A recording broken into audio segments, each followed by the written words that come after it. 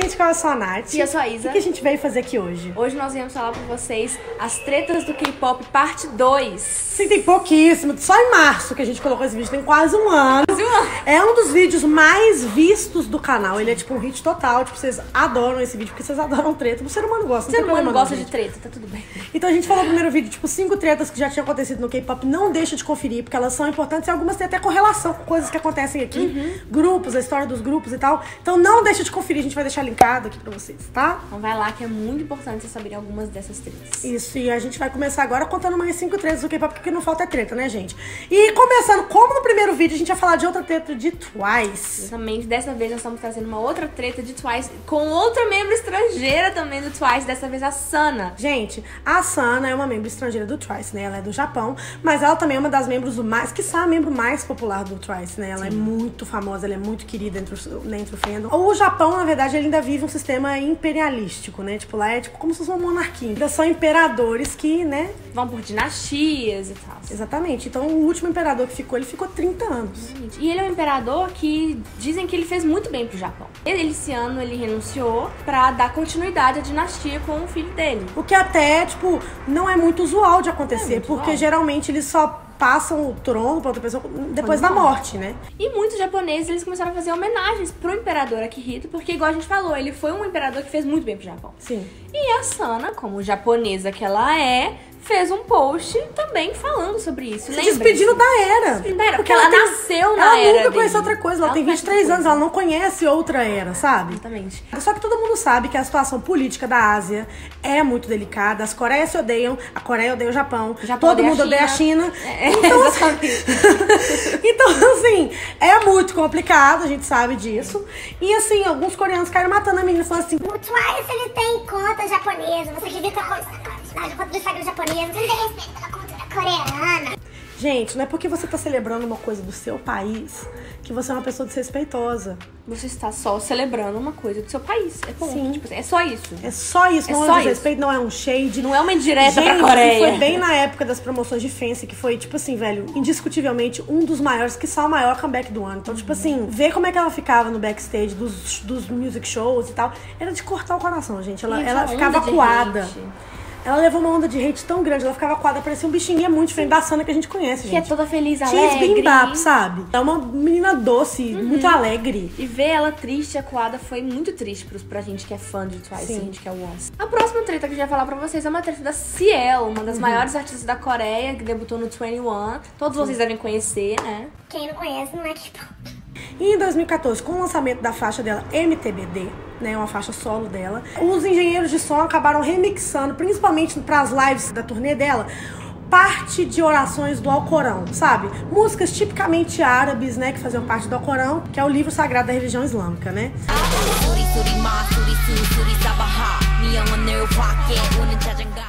Todo mundo sabe que a religião islâmica ela é bem restrita em muitas coisas e uma das coisas que eles não arredam o pé é que, tipo, nada do Corão deve Pode ser usado para entretenimento.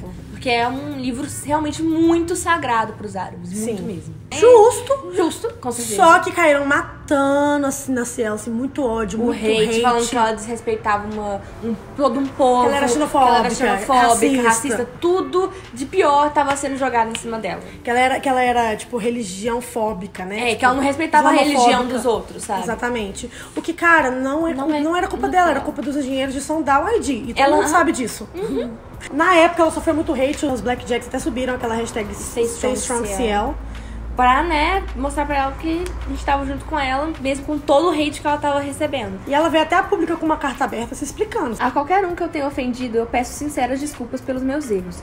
O que aconteceu foi que o meu engenheiro de som mandou a versão antiga de MTBD pra tocar na turnê. Eu me responsabilizo por não ter percebido isso antes. Nunca foi minha intenção usar essa versão. Assim, mesmo ainda assim, ela levou nas costas, mostrando a líder e a mulher maravilhosa que ela é, né? Exatamente. Ela teve, responsabilidade pelos atos, disse que ela não queria usar essa versão, não era essa versão Que foi que só uma coisa que ela usada, falou, que foi um erro, em cálculo Ela foi é, negligente. Foi uma Isso. negligência da parte dela de Sim. não ter percebido o erro que, que aconteceu. Aham. A terceira treta de hoje Se você ainda não viu a parte 1, depois desse vídeo, vai lá dar uma conferida. A gente explica o motivo de que por que TVX Kill, que eram cinco membros, passam a ser só dois. Eles são indiscutivelmente o primeiro grande boy group que trouxe toda essa onda Hallyu pra fora da Coreia. Exatamente. Eles são, tipo, Gigantes reis, gigantes da da, segunda, segunda geração. E nessa leva também, gente, tipo assim, a primeira geração do K-pop, que não é um K-pop que a gente tem tanto Contato. contato Porque mais. eles realmente foram, é, são de, da década de 90. Sim. E são grupos que realmente fizeram o K-pop ser consolidado na, na Coreia. Coreia. Porque a né? música popular, entre aspas, assim, o pop coreano, como a gente conhece ele de hoje, essa coisa, essa coisa pegada meio ocidental, meio R&B, meio hip hop, não era uma coisa que era mainstream na Coreia. Foi só com esses grupos da primeira geração dos anos 90 até os anos 2000 que eles consoli- consolidaram. Então, a primeira grande boy band que a gente tem nessa coisa meio, essa pegada meio Backstreet Boys e tal, foi o Foi o Shinhwa. Exatamente. Então, a gente tá falando agora de dois grandes boy groups da primeira geração e do inicinho da segunda. Exatamente. E o Shinhwa, gente, eles são gigantescos. Tipo, dentro da Coreia, eles são muito Eles aclamados são a até maior hoje. Uhum. boy band, tipo, em termos de anos. A gente Inclusive. Perfect Man, que vocês devem conhecer pelo cover que o BTS fez, é deles. Sim.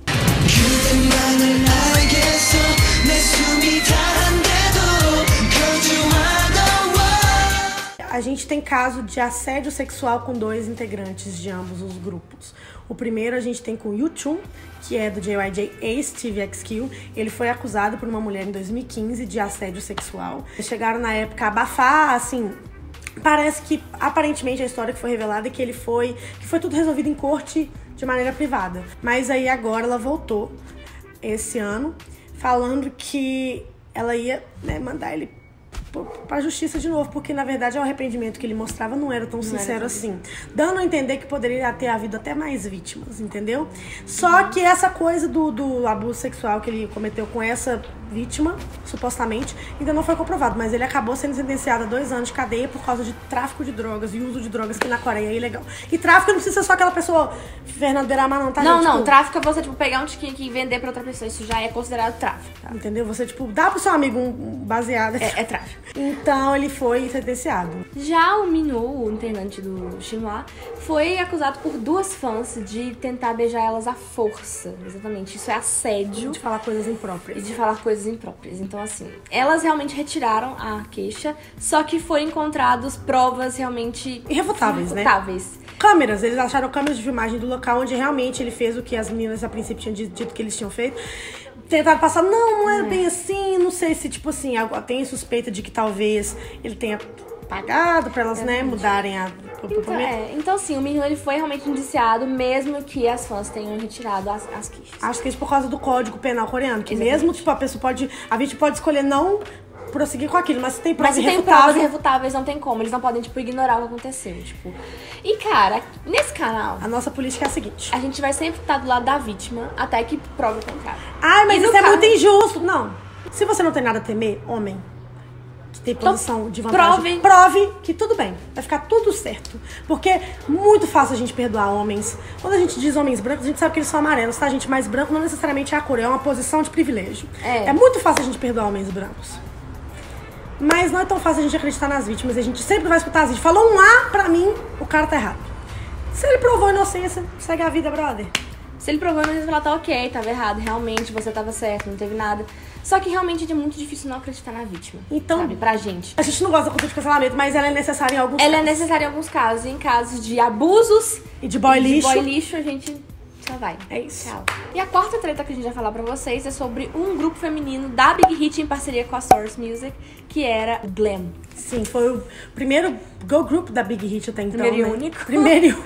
Mas porque assim, né, elas debutaram e tal, fizeram um sucessinho até bacana, com músicas muito legais, né? É. Sim, o Glam era um grupo muito bom. exatamente. Inicialmente elas debutaram com cinco integrantes, só que uma delas saiu por motivos pessoais, mas a treta mesmo foi o porquê delas, do grupo ter acabado. Por que o Glam não tá aí até hoje? Exatamente. por causa dessa treta. E o que aconteceu é que uma das integrantes do Glam, a Tahi, junto com a amiga dela, que era uma modelo chamada Jeon, chantagearam o ator Lee Byung-han com coisas sexuais e assim, ameaças Coisas sexuais. íntimas, realmente, né? chantagem. Coisa bem de filme máfia russa mesmo, Gal. Uhum, exatamente. Pedindo dinheiro real. Extorquiu o cara. Extorquindo, realmente.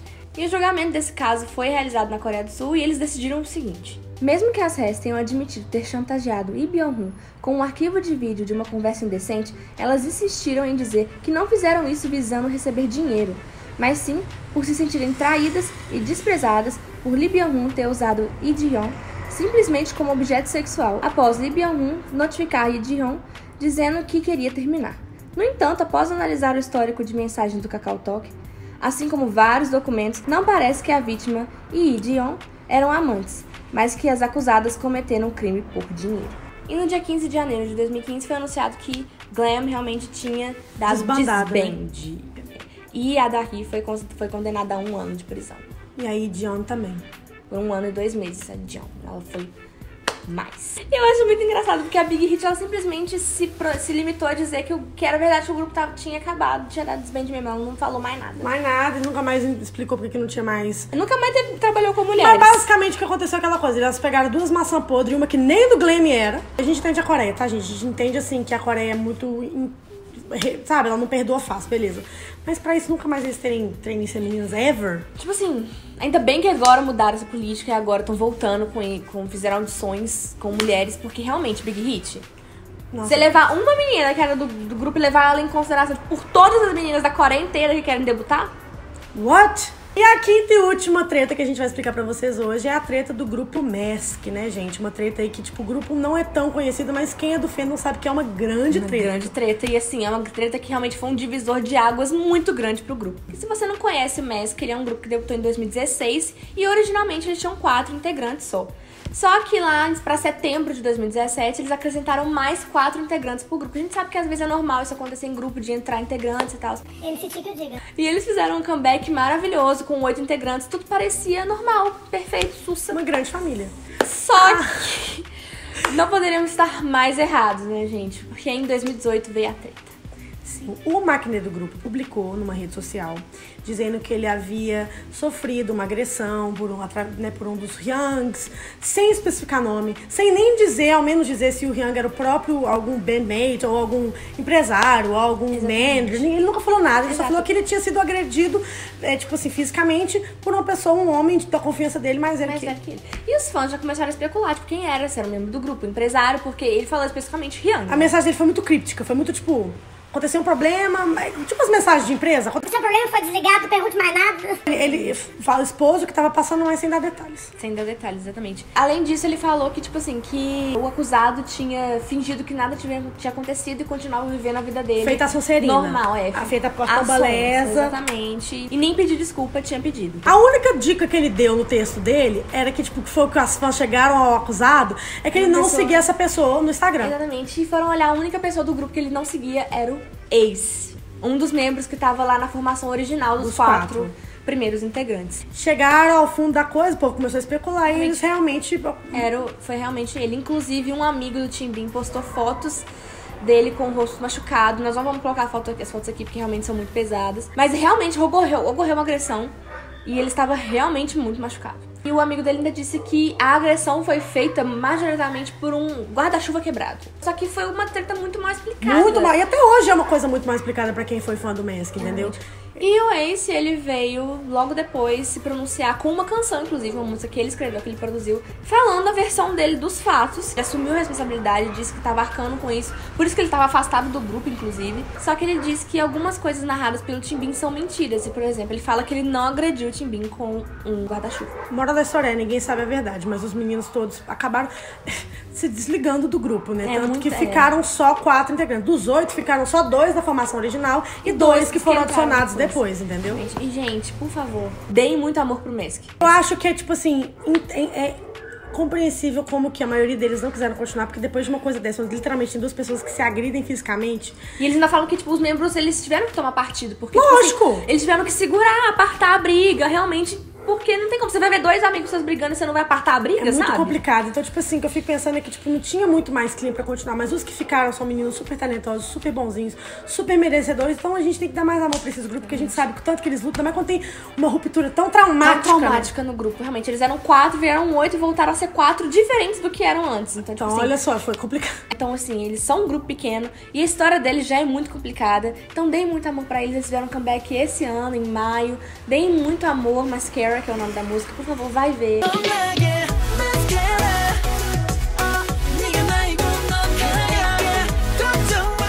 Enfim, só deem amor pra esses meninos, porque eles merecem demais. Porque, né, olha o que eles tiveram que passar Isso, pra essa gente. Então é, É isso, isso, gente. Espero gente. que a gente tenha explicado mais umas tretas pra você. A gente pretende fazer uma parte 3 ainda, Uhum. porque é o que não falta, gente. São mini casos que a gente fica embasbacado, que alguns têm motivo de acontecer, outros a gente fica tipo, What? What? Por que você tá levando hate? Mas treta no K-pop é o que não falta, né, gente? Então comenta aqui embaixo alguma treta que você queira ver que a gente coloca no próximo vídeo explicada. Quer a parte 3? Metralha o like aqui então, ó. Dá muito like nesse vídeo que a gente vai providenciar já a parte 3 pra vocês. Então é isso, gente.